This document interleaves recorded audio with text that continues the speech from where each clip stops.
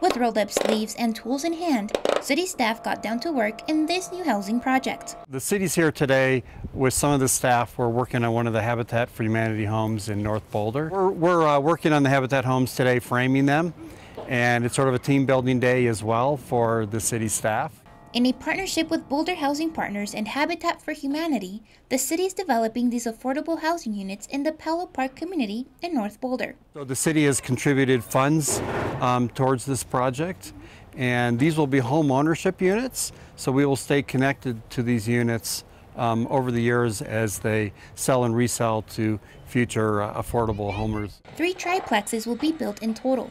This is the first of the three buildings to go up and is expected to be completed by the end of the year. Each unit within the triplex is three bedrooms, has a full kitchen, a living room, storage space, and two bathrooms.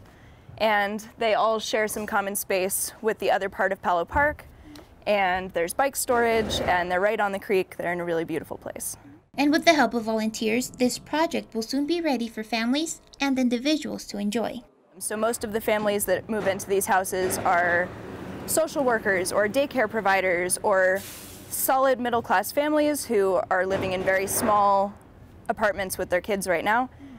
Our goal is to get each kid their own bedroom and have them in an ownership role in their home rather than renting. I think it's important for we as city staff to volunteer with the various communities that we support um, and to get to know the other volunteers and the organizations and you know the real work that they're doing.